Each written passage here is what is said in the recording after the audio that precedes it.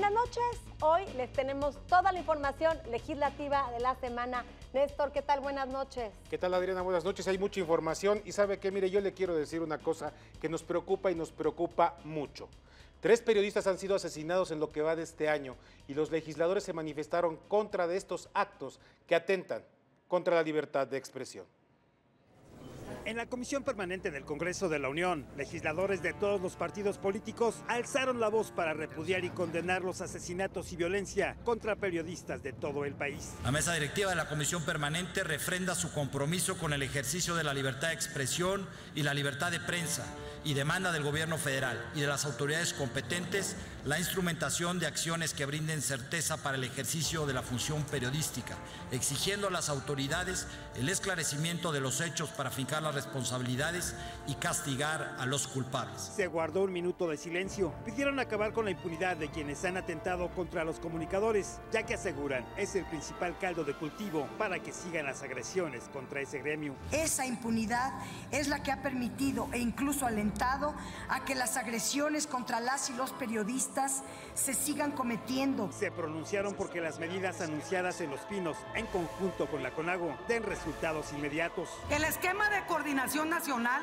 nos debe de dar resultados muy rápido, porque entonces no se zafa nadie de una responsabilidad que tenemos todas y todos. También pidieron que los estados hagan su parte y solicitaron la comparecencia urgente del secretario de Gobernación y del titular de la PGR para abordar el problema. Tiene que venir a esta soberanía a que comparezca el secretario de Gobernación, el responsable del protocolo de los periodistas y al finalmente el responsable de la seguridad pública del país. Néstor, cada vez que atentan contra un periodista es un agravio a todos los mexicanos. ¿Por qué? Porque cuarta nuestra libertad de expresión. Los periodistas estamos siendo amenazados por el crimen organizado y también por ciertos políticos. No se vale ni un periodista más muerto, Néstor. Así es, Adriana. Una de las cosas que realmente nos preocupan y nos preocupan mucho es que la importancia de la libertad de expresión eh, pues es uno de los pilares fundamentales de todas las democracias. ¿Por qué? Porque los periodistas, la gente que opina, lo que hace a través de los medios de comunicación y ahora en las plataformas digitales es decirle a usted, decirle a la sociedad lo que piensa que está bien o lo que piensa que está mal. Y si nos quitan eso, si nos callan, pues nuestra democracia y nuestra convivencia pues no funciona y se va deteriorando todo lo que es nuestro país, nuestra vida cotidiana. Esa es la importancia esa es la importancia sin duda de que pues, los periodistas puedan realizar su labor con libertad y con seguridad. Y eso no está ocurriendo. Lo que le puedo decir es que podemos disentir, podemos pensar distinto los periodistas, pero hoy como nunca, todos, todos los periodistas estamos agraviados y por desgracia temerosos, Adriana. Así es, Néstor, y bastantes desafortunados fueron las palabras del candidato a gobernador en Coahuila, el panista Guillermo Anaya. Varias legisladoras del Partido Revolucionario Institucional exigieron mucho más que una disculpa pública. Les dan puro chile, ¿verdad? Bueno, pues ahora les vamos a dar puro chile a las lideresas del PRI. Estas declaraciones del candidato del PAN a la gubernatura de Coahuila, Guillermo Anaya, indignaron a diputadas y senadoras del PRI que exigieron a las autoridades electorales retirarle la candidatura al panista. Al señor Anaya le decimos, no queremos solamente que salga a dar disculpas, queremos que la autoridad electoral actúe, no queremos un árbitro complaciente, viendo que van y viene la violencia queremos que actúe. Y la condena es retirar la candidatura del señor Anaya. Es un peligro para las mujeres y más para la sociedad. Las legisladoras mostraron este video y reprocharon el silencio del Partido Acción Nacional, que no se ha pronunciado al respecto. No podemos permitir un candidato de esa dimensión. Y quiero mm, no solamente dejarlo en el casillero de mujeres. Es un peligro el candidato Anaya de Coahuila, no solamente para las mujeres, sino también para la sociedad. Si además esta persona aspira a gobernar a todo un estado, su falta es aún mayor, de tal magnitud que no podemos ni permitiremos que se minimice como si fuera algo chistoso, porque no hay violencia hacia la mujer que pueda ser graciosa. Las mujeres priistas informaron que ya se presentó una denuncia formal ante el INE contra Guillermo Anaya por violencia política de género. ¿Qué piensa usted acerca de pues esta, esta declaración dicharachera del candidato del PAN al gobierno de Coahuila? Adriana, ¿tú cómo la viste? Pues se creen muy dicharacheros, pero al final, Néstor, son palabras misóginas contra las mujeres. ¿Recuerdas hace algunos años un diputado priista que también se atrevió a decir que las mujeres bonitas únicamente servían como meretrices? ¿Qué le pasó? Lo expulsaron del partido, iba a ser senador, lo bajaron de la candidatura al Senado. No entienden que es un retroceso para todo lo que hemos logrado las mujeres en cuanto a equidad de género y esto se llama violencia también política contra la mujer. ¿Sabes qué? Y la parte más complicada es que se sienten dicharacheros, se sienten bromistas y lo que ocurre es que en realidad pues cruzan la frontera de la ofensa la agresión y, como tú dices, la violencia de género, la violencia verbal. Y les gana el inconsciente, Néstor. Bueno, les gana el inconsciente, pero bueno, ¿qué le parece si vamos a más información, más información del PAN? El coordinador de los diputados panistas, Marco Cortés, pidió a las autoridades federales y locales de Coahuila, seguimos en Coahuila, ahí está la disputa política, pues que sigan con las investigaciones contra el exgobernador de ese estado, Humberto Moreira, por diversos delitos que se le imputan. Además, pidió que no se le permita salir del país para evitar que evada la justicia. Lo que estamos solicitando es que se tomen todas las medidas necesarias para que los Moreira no salgan del país y evadan la justicia. Lo que estamos solicitando es que se aseguren las cuentas bancarias que se han encontrado y cualquier otra que resulte que pueda presumirse que es dinero desviado, dinero público. Lo que estamos solicitando es la extinción de dominio ante la posibilidad ya acreditada de que los recursos públicos se hayan convertido en propiedades de las familias Moreira. Lo que estamos solicitando es que el INE cancele el registro de Humberto Moreira, que es candidato a diputado local. Bueno, pues ahí está. La verdad es que la disputa por los estados, la disputa por Coahuila, por el Estado de México, por Nayarit, está con todo y se acusan todo tipo de acusaciones, hasta estas de desvíos y denuncias penales, Adrianita. Néstor, yo no creo que sea una simple acusación, se le encontraron 60 millones de dólares en una cuenta en Mónaco, esa es una clara evidencia. Yo insto a las autoridades electorales a que investiguen el caso y en caso de que fuera cierto, pues que le retiren la candidatura independiente y a la ciudadanía a que no voten por este tipo de personajes ya que si gana, pues va a tener fuero el señor y bajo su fuero nadie le va a poder hacer nada. Ahí lo que procede legalmente, Adriana, eh, señores del público, es que pues se presente, se presente eh, pues una denuncia y si entrara bajo proceso, entonces se podría retirar la candidatura. Pero la verdad, Adriana, yo no veo, la verdad es que yo no veo que exista la posibilidad de que le puedan retirar la candidatura. Va a competir, vamos a ver cómo le va. Pues que la ciudadanía no vote por este tipo de presuntos culpables de actos de lavado de dinero, de, peculado, de enriquecimiento ilícito y todo lo que se le puede llegar a investigar a este señor. Hay de todo en esta viña del Señor. Hay de todo, desafortunadamente. Y bueno, Néstor, la Comisión Permanente del Congreso de la Unión aprobó la creación de una comisión de diputados y de senadores que le va a dar el seguimiento al próximo proceso electoral que se llevará a cabo el 4 de junio, en donde se van a elegir a los gobernadores de Coahuila, Estado de México, Nayarit y también 112 alcaldías en Veracruz. Diputada, tu estado, Veracruz, a ver cómo les va. mero, ese mero, mi estado. Muy bien.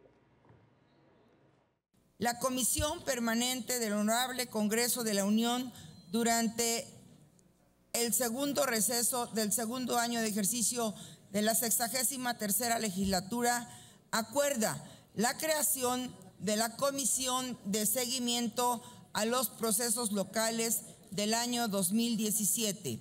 Segundo, el grupo plural estará conformado por 12 integrantes, dos del Partido Revolucionario Institucional, dos del Partido Acción Nacional, dos del Partido de la Revolución Democrática, un integrante por cada uno de los grupos parlamentarios restantes. Y nadie se queda fuera, todos van a estar representados, de tal suerte que va a dar transparencia, va a dar nitidez y repito, si es necesario alguna medida que reoriente o corrija, aquí será el espacio natural para hacer la propuesta desde el punto de vista político. Vamos a ver cómo se desarrollan estos procesos electorales en Nayarit, Coahuila, Estado de México y Veracruz el próximo 4 de junio. Aquí, aquí en ADN 40 tendremos una transmisión especial de estos comicios locales. Bueno, ahora le toca el turno a Víctor Sánchez Baños, que entrevista a Marco Cortés, el coordinador de los diputados del PAN. Todos los partidos políticos tienen su propia agenda legislativa. Algunos son puntos importantes también para la comunidad, pero en el caso concreto del Partido de Acción Nacional resaltan algunos puntos que nos va a platicar de ellos el diputado Marco Cortés, quien es el coordinador de los diputados del Partido Acción Nacional. Bueno, a nosotros nos preocupa que se quedaron temas pendientes del periodo ordinario de sesiones. Por ello vamos a buscar que se logren los acuerdos para poder legislar en materia de seguridad. Por eso es que buscamos tener de forma inmediata un periodo extraordinario, pero ya con acuerdo, ya con dictamen, para poder, por un lado, fortalecer a las policías y, por otro lado, darle un régimen a las Fuerzas Armadas para sus tareas de seguridad. Para nosotros esas serían las prioridades en la consolidación de acuerdos que nos llevarían a un proceso legislativo de forma inmediata. Para el Partido de Acción Nacional es fundamental el tema de justicia y sobre todo de seguridad. Para ello van a tocar temas durante la reunión de la permanente en el Congreso de la Unión relacionados con las policías, la policía única, que definitivamente también son de interés para todos los mexicanos. Gracias, Víctor. Adriana. Por supuesto que la seguridad es el problema número uno que nos preocupa a todos los mexicanos, pero el segundo, usted ya sabe, pues es la corrupción. Y como parte de estos delitos está el robo de hidrocarburos con el impacto económico que genera a todos los niveles. Vamos a ver para este tema el comentario de Alicia Salgado. Muchísimas gracias muchachos. Hoy estamos en el Senado de la República y justamente se irá a comisiones em, constitucionales y de estudios legislativos eh, pronto una iniciativa que fue aprobada en la Cámara de Diputados en abril pasado, eh, en la que se aumentaron las penas corporales para eh, quienes cometen el robo de combustibles, la distribución de combustibles y hasta cierto punto su venta. Esto es la primera parte de la cadena. Si consideramos que el mercado de gasolinas en México tiene un valor aproximado de 700 mil millones de pesos, el robo de hidrocarburos, según estima la Secretaría de Hacienda y Petróleos Mexicanos, está o ronda aproximadamente 20 mil millones de pesos por año que se pierde justamente de las arcas públicas y yo digo que se desperdician de nuestros impuestos. Em, según la Comisión Reguladora de Energía, ese monto implica aproximadamente entre dos y medio y tres pesos por cada litro de gasolina que nosotros compramos. ¿Por qué? Porque tienen que aumentar la seguridad, reparar los ductos, meter canicas y demás, en fin, todo un costo. Eh, el punto es que mientras esta legislación que ahora está aquí en el Senado de la República y que será discutida en el próximo periodo de sesiones, no eh, incluya el cierre de la cadena, esto es a todos los consumidores que a sabiendas eh, compran el producto ilegal, y me refiero a muchas que les han encontrado en su caldera hasta petróleo crudo, ya ni digamos gasolina, que es verdaderamente un eh, atentado contra el Estado. Em, eh, si, no se incluye a ellos e inclusive al, Poder Judicial o al Poder Político que facilita el robo de hidrocarburos en esas penas de 15 a 20 años, difícilmente se va a cerrar la cadena. ¿Ustedes qué opinan? Yo pongo este tema bajo la lupa. Desde la Cámara de Senadores, cerrar la pinza es algo fundamental. Para ADN 40, en este proyecto de ida y vuelta. Y vamos a un corte comercial y no se vaya porque a nuestro regreso daremos la entrevista al diputado presidente de la COPECOL, Pascual Sigala. Volvemos.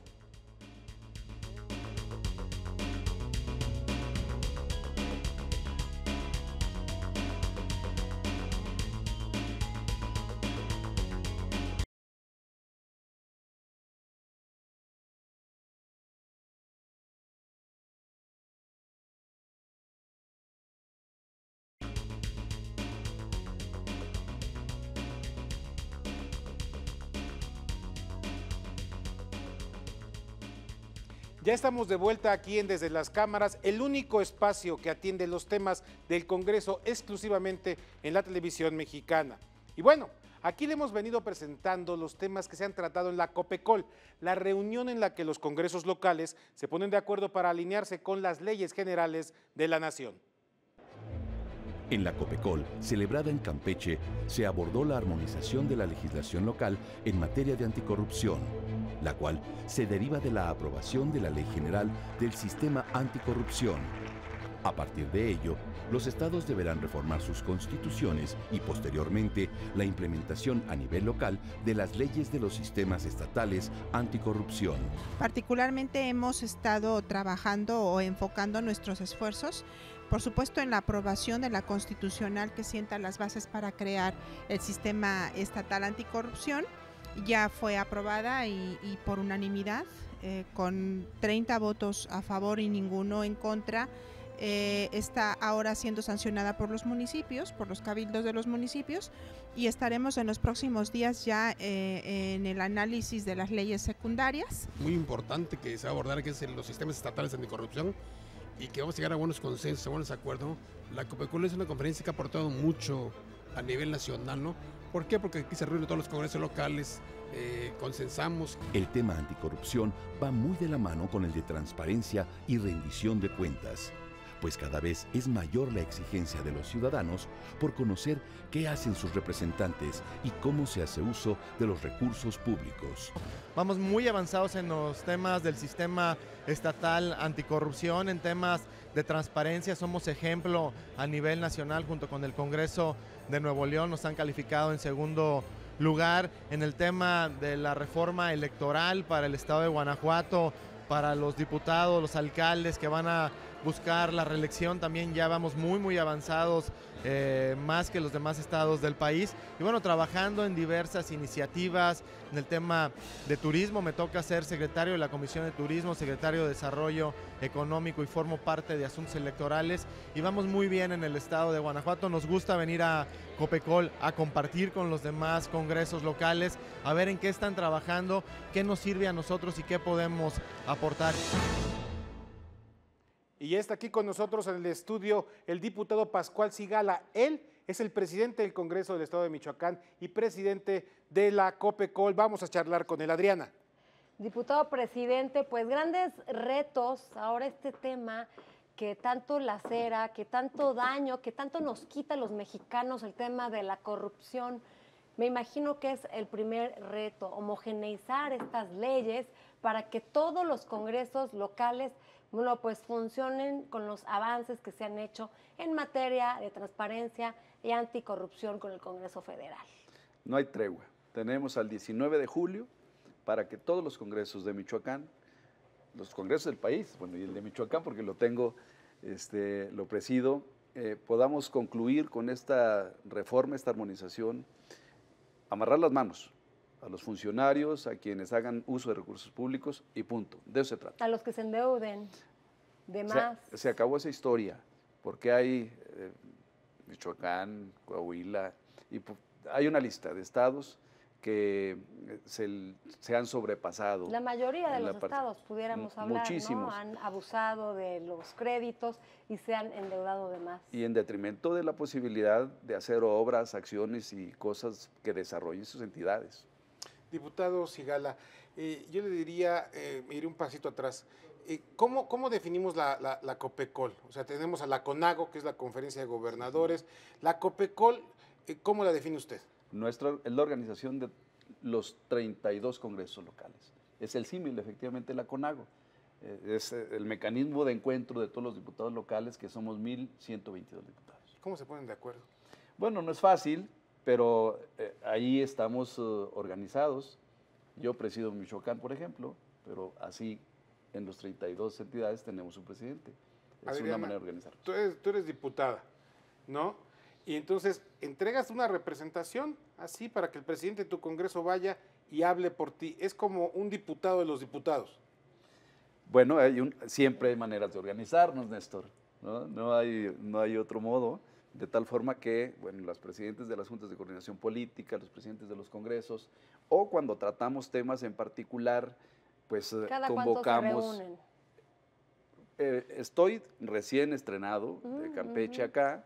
El próximo jueves de hoy, justamente en ocho días, tenemos la primera reunión del Comité Nacional y luego el- la última semana de octubre nos habremos de reunir en plenaria, otra vez, en Jalisco, por cierto. Diputado, un tema que preocupa en los congresos le- locales es, se habla que muchos congresos locales, pues el propietario de estos congresos es el gobernador. Hemos visto casos muy exhibidos a últimas fechas de gobernadores corruptos que han sido perseguidos, que acaban en la cárcel, que acaban eh, robándose todo el dinero del Estado. Y estos diputados locales muchas veces son cómplices, aun cuando son de oposición. ¿Qué pueden hacer dirigiendo ahí la COPECOL para evitar estos congresos locales que tienen dueño? Adriana, los, tiempos están cambiando. La sociedad se, se ha transformado y es muy exigente. Ahora en la mayoría de los congresos locales están presentes seis, siete partidos políticos, lo que antes no ocurría. Antes estaban dos, después tres, y luego ya hoy, por ejemplo, en Michoacán hay siete. Siete partidos políticos donde se pueden discutir, debatir, a veces se llevan más largos procedimientos para eh, establecer una iniciativa de ley o una ley, pero conforme el tiempo pasa, los congresos han dejado de ser ventanilla de trámite de los gobernadores. Muchos diputados, aunque no sean del partido en el poder, pues reciben dinero del gobernador y es la forma pues de comprarlos. ¿Cómo evitar eso? Bueno, son presunciones, Adriana, pero eso debe ser, debe estar desterrado por completo. El sistema estatal, los sistemas estatales y el sistema nacional anticorrupción, justamente es, tiene uno de los propósitos, evitar que se corrompan autoridades, legisladores, alcaldes, regidores o llámese como se llame. Diputado, además de eh, lo que es toda esta armonización del sistema anticorrupción, ¿qué otros temas importantes han logrado armonizar, han logrado, digamos, unificar, homogeneizar en la COPECOL? Algo muy importante, Néstor, tu pregunta. Estamos construyendo el Sistema Nacional de Información Legislativa. Requerimos más o menos procurar armonizar las leyes de las leyes locales. Tenemos muchos temas en común y esa es una de las cosas que nos une.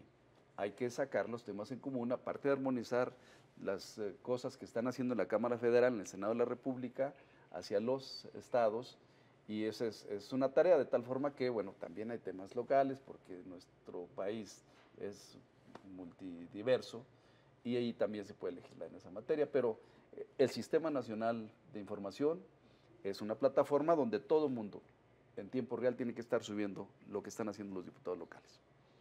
¿Cuáles son, serían los objetivos? Su objetivo ahora que está tomando usted protesta como presidente de la COPECOL. Acabar con la corrupción, obviamente, es el tema pri- principal, el tema de transparencia, pero ¿qué otro objetivo en tema de, de seguridad? Bueno, hay que ser muy eficaces en todo lo que tiene que ver con la armonización legislativa. Esto que, que- que a mí me preocupa mucho en lo particular, porque requerimos ir más o menos al ritmo. Esta patria nuestra requiere que lo que se está legislando en la armonización legislativa en Chiapas se esté haciendo en Baja California o se esté haciendo en Michoacán, para que esta gran sociedad y los congresos locales que formamos parte del constituyente permanente estemos a la orden del día y no estemos guardando en los cajones, congelando las iniciativas, como lo decimos. Diputado, nos queda un minuto, que además es una eternidad en televisión, así que le pregunto, usted preside el Congreso de Michoacán. Michoacán estaba verdaderamente, pues al inicio de la administración, eh, convulso, difícil. Ahora, ¿cómo se encuentra? Porque ya no oímos hablar tanto de escándalos en Michoacán. Han cambiado las cosas, Néstor, para fortuna de los michoacanos y del país también. El, el tema de la seguridad, que era todos los días la nota roja, esa es la imagen, hoy ha cambiado. El Congreso de Michoacán está acompañando iniciativas del gobierno del Estado, eh, otorgando presupuestos, acompañando para que este tema de la seguridad se pueda desterrar este, de una vez por todas, porque en efecto eh, llegamos a tomar un estado de cabeza y hoy Michoacán, que es un estado maravilloso, bellísimo, muy rico, con gente muy trabajadora y honorable, pueda salir adelante. Diputado Pascual Sigala, presidente del Congreso en Michoacán y ahora presidente de esta confederación tan importante, la, Co- la- la- la COPECOL. La Copecol. Pues le auguramos el mayor de los éxitos. Vamos a estar aquí bajo la lupa viendo sus avances en esta función. Muchas felicidades. Muchas gracias. Y gracias Adriana, por muchas estar gracias, con nosotros. Gracias, Muchas gracias a diputado. ustedes y pronto nos estaremos viendo en Jalisco. La próxima, la próxima plenaria de la COPECOL. Octubre lo tenemos planeado allá. Gracias, diputado. Gracias, Muchas gracias a ustedes. Muchas gracias. Se nos acabó el tiempo, Néstor. ¿Qué nos queda? Es jueves. Que nos sigan viendo, que nos sigan en redes sociales. Recuerden que ADN 40 es información de ida y vuelta.